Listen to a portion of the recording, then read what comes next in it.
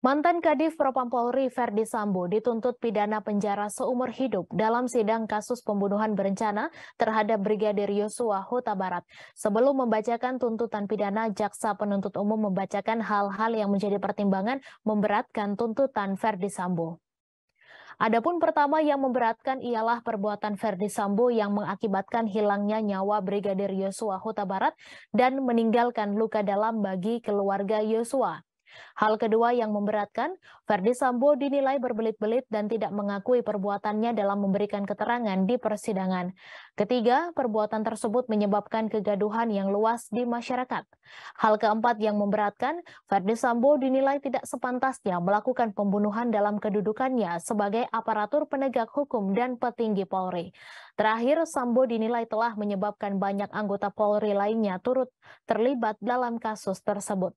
Jaksa juga menyebut tidak ada hal-hal yang meringankan tuntutan Verdi Sambo. Dalam kasus ini, Verdi Sambo didakwa melakukan pembunuhan berencana terhadap Brigadir Yosua bersama istrinya Putri Chandrawati, Richard Eliezer, Riki Rizal dan Kuat Ma'ruf. Dalam dakwaan JPU disebutkan bahwa Richard menembak Yosua atas perintah Verdi Sambo yang saat itu masih menjabat sebagai Kadif Propam Polri. Peristiwa pembunuhan terhadap Yosua disebut terjadi lantaran adanya cerita sepihak dari istri Sambo Putri Chandrawati yang mengaku dilecehkan oleh Brigadir J di Magelang pada 7 Juli. Verdi Sambo kemudian marah dan merencanakan pembunuhan terhadap Yosua yang melibatkan Baradae, Riki Rizal dan Kuat Ma'ruf Ma'ruf di Duren 3 pada 8 Juli.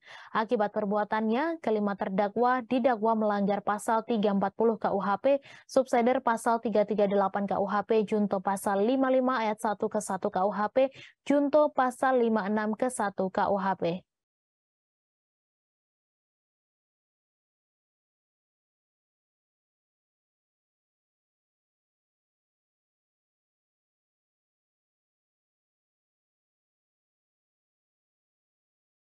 Kegaduhan yang meluas di masyarakat.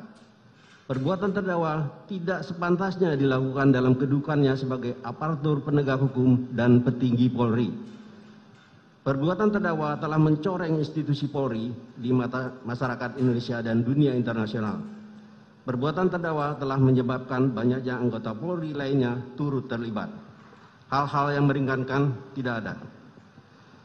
Berdasarkan uraian dimaksud, kami penuntut umum dalam perkara terdakwa Perdi Sambo dengan memperhatikan ketentuan undang-undang yang bersangkutan menuntut mohon agar Majelis Hakim Pengadilan Negeri Jakarta Selatan yang memeriksa dan mengadili perkara atas nama terdakwa Perdi Sambo memutuskan. Terima kasih sudah nonton. Jangan lupa like, subscribe, dan share ya.